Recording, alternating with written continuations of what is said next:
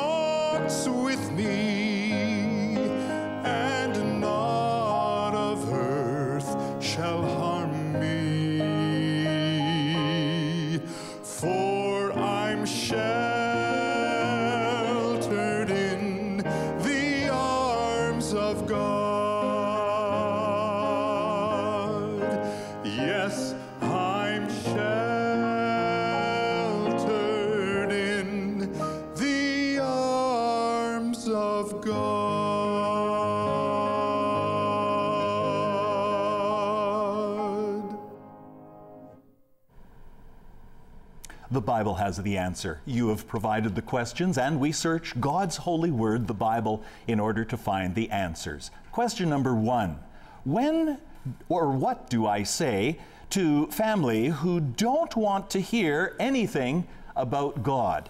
Three portions of Scripture I want to give to you. First of all, to encourage you to continue to pray.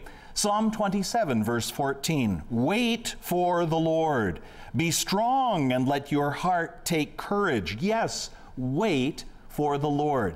Very often, a, uh, it is a indication of God's Spirit at work within the heart when someone wants to run and doesn't want to hear. It's because there is an inner voice, there is the Spirit of God at work in the heart, and it's just too much for them to hear from the outside and to hear from the inside, and they're saying, Be quiet. They cannot quieten that inner voice, but they might want to quieten that outer one. I would encourage you to be encouraged that in fact there is something at work, though there seems to be nothing at work. Ecclesiastes chapter 3 and verse 7, we read, There is a time to uh, tear apart and a time to sew together, a time to be silent and a time to speak. I would encourage you that perhaps there is a time to be silent with your family and not to constantly approach them, but to give them some room. And even as you pray, say, Lord, ramp it up. Turn on the burners of your spirit and the work in their heart. Just let it fly. Let the fire burn. And then Proverbs chapter 25 and verse 11. Like apples of gold in settings of silver is a word spoken in right circumstances. Perhaps you've heard the phrase, less is more. Rather than to be constantly approaching them with many words, look for that opportunity and pray for a sensitivity to the Spirit of God that at just the right time there might be that word. Many times I've sensed that fewer words penetrate to the core of a person's heart much better than many words and just be praying bathing the whole situation situation in prayer but then say lord is this the time? And just plant those words and let them be like apples of gold in settings of silver that appropriate word at just the right time. Question number 2 when we pray for faith to live by, what specifically should we be praying for? I was thrilled to receive this letter and to hear from someone to say, Look, you pray for us on the program from time to time. And uh, many times, people in their uh, letters they say, "We are praying for faith to live by." Deeply appreciate that. But here is a question what specifically? I want to give you three, and here they are. Number one, I have a dear friend who sometimes calls me up and prays for me, and he has a number of sayings, and he says, Lord, give the wisdom of Solomon, the patience of Job, the courage of Daniel, and the love of Christ. And there are a few others, I just don't remember them at the moment. But pray that we would have the wisdom of Solomon, the patience of Job, the courage of Daniel, the love of Christ, and that we might ever and always walk in that. Secondly, pray for all who serve, both those who are seen on the broadcast or broadcast, seen or heard because we're on TV and radio. Pray for all who serve, those who sing, myself as I speak, and in various others. Some of you call our office and speak with my administrative assistant, but pray for all who you are aware of, as well as those who are unseen. And the production of Faith to Live By is a little bit of a, a convoluted thing in that there are pieces that are pre recorded some months ahead of time, and then there is the uh, putting together of it uh, every second Tuesday evening. Pray for all who are seen and unseen. I know many who serve behind the scenes, but I also know that there are many who I don't know. There are those who provide closed captioning, there are those who provide in the local television outlets that we use and radio outlets all across the land. There are technicians, and pray God's blessing upon each and every one, even though I can't list their names or uh, describe anything about them. Pray God's blessing upon them. And thirdly, I would encourage you to pray Ephesians chapter 6 and verses 10 to 18. What is that? That is where Paul speaks to the Ephesians about taking up the entire armor of God. And here, Paul says, Be strong in the Lord and in the strength of his might. Pray that faith to live by would be strong in the Lord and in the strength of his might. Pray that we would put on the full armor of God and that we would be able to stand firm against the schemes of the devil, realizing that our struggle is not against flesh and blood, but against the world forces of this darkness, against the spiritual forces of wickedness in the heavenly places, taking up that full armor of God and having done everything to stand firm in the grace and in the knowledge of our Lord and Savior Jesus Christ, in the gospel which was delivered once for all to the saints. And may we proclaim that faithfully. Thank you for these questions. If you have a question, send it to us. Our mailing address, Faith to Live By, Box 426, Winnipeg, Manitoba, R3C 2H6. Heidi Taves comes to sing Jesus, Rock of Ages.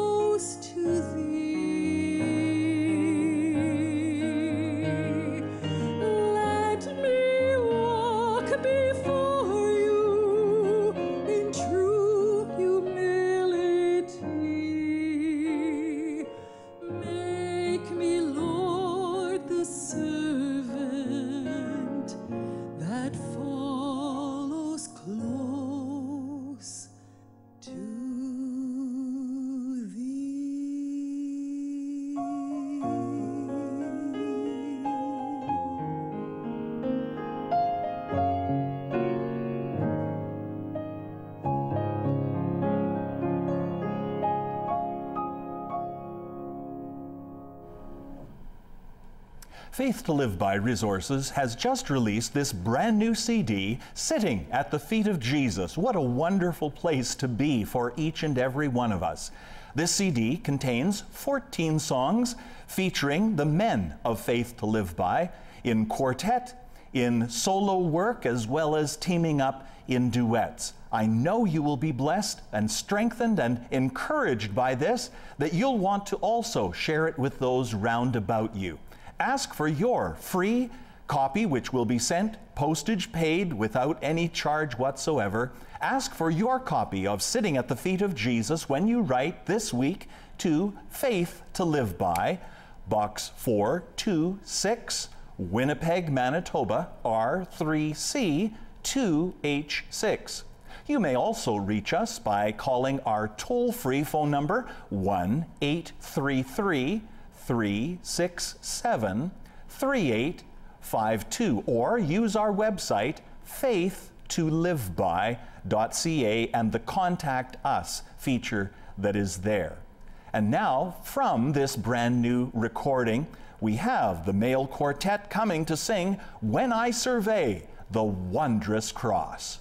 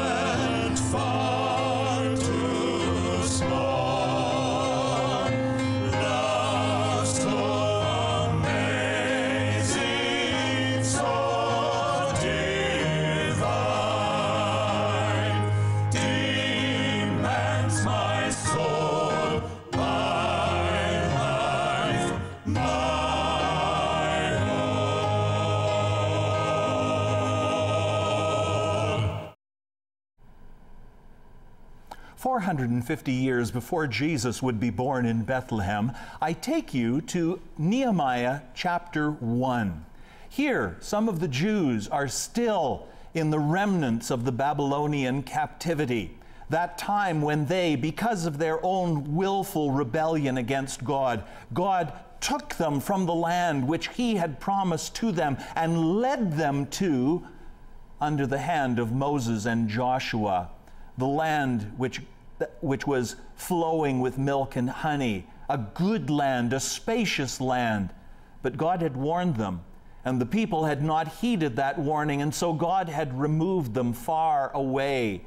But God is the one who would want to bring the wanderer back. He would want to bring the one who has rebelled back into fellowship and into communion with himself. He would want the wanderer to wander no more.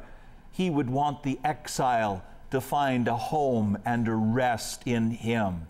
I want to especially focus upon Nehemiah chapter 1, but the entire book of Nehemiah and the leadership which he exercised is a exclamation point, focal point of prayer. Nehemiah was a great man of prayer, although most of the reminiscences and the remembrances that we have of him are of his great leadership. The reason why he was a great leader was that he was a great man of prayer. And chapter 1 very fittingly begins the entire book, and it is filled with prayer. But first, the setting is set for us. The words of Nehemiah, the son of Hakaliah. Now it happened in the month Chislev in the 20th year, while I was in Susa, the capital, that Hanani, one of my brothers, and some men from Judah came, and I asked them concerning the Jews who had escaped and survived the captivity, and about Jerusalem. You need to understand that Jerusalem has a place in the heart of the Jew like no other place could possibly have. Oh, Jerusalem, Jerusalem, even Jesus, he comes to Jerusalem and he weeps over the city. Nehemiah asks about Jerusalem. He is vitally concerned. They said to me, The remnant there in the province who survived the captivity are in distress and reproach, and the wall of Jerusalem is broken down, and its gates are burned with fire. There was no security if there was no protection via a firm, solid wall and gates that could close at night in order that the intruder might be kept out. But beyond that, in the Old Testament, walls stand for salvation and gates they stand for praise. The gates those were the places which was essentially the city hall. That was where business was done. That was where honor was given to those for whom honor was due. Walls stand for salvation. Gates represent praise. So when the word is given, the walls are broken down, there is no salvation. The gates are burned with fire, there is no praise, there is no honor, most especially to the Lord, whose name was to be right there in Jerusalem. And this is what Nehemiah does. This is his response when I heard these words, I sat down and wept. It went to the very core of his being. He weeps and mourned for days. And I was fasting and praying before the God of heaven. And the rest of the chapter, chapter 1, is a prayer, and I read it to you. Hear the prayer of Nehemiah, great man of God. I beseech you Nehemiah knew where help was to come from, and he goes directly to the source. I beseech you, O Lord God of heaven. And he describes him, the great and awesome God who preserves the covenant and loving kindness for those who love him and keep his commandments. Let your ear now be attentive and your eyes open to the prayer of your servant, which I am praying before you now. He's asking for grace, he's asking for God's mercy. Day and night, on behalf of the sons of Israel, your servants. Nehemiah wasn't saying, Look, I, I want to make a name for myself. Lord, I want your name to be great. I want your name to be exalted. These for whom I am praying, they are yours, they are not mine your servants, confessing the sins of the sons of Israel, which we have sinned against you. I and my father's house have sinned. Nehemiah understood that he needed God's grace, even as did all of the others. We have acted very corruptly against you and have not kept the commandments, nor the statutes, nor the ordinances which you commanded your servant Moses. He's not pointing fingers at someone else. He's saying, We are all in this same situation and predicament together. Lord, we look to you, we eagerly call upon you. And Nehemiah says, Remember, what a great thing it is to remind the Lord of what he has promised. Lord, remember the word which you commanded your servant Moses, saying, If you are unfaithful, I will scatter you among the peoples. But, but, if you return to me and keep my commandments and do them, though those of you who have been scattered were in the remote part of the heavens, I will gather them from there and will bring them to the place where I have chosen to cause my name to dwell. That's Jerusalem. God, Lord, you said you would bring the people back. You said that the wanderer could come home. You said that the prodigal would find a welcome. What a beautiful scene. What a beautiful picture that is. They are your servants. They are your people, whom you redeemed by your great power and your strong hand. O Lord, I beseech you May your ear be attentive to the prayer of your servant and the prayer of your servants who delight to revere your name, and make your servant successful today and grant him compassion before this man. Nehemiah was cupbearer to the great king, and he would go before him to make his appeal, but he first of all came to the king of all kings. Do that when you are in a predicament, when you are in a situation that's way over your head and you need help, come to the King of Kings and the Lord of Lords and pour out your need before Him. Before you talk to anybody else, lay it before the Lord and find that grace, that mercy, that rest in Him. Yes, there's room at the cross.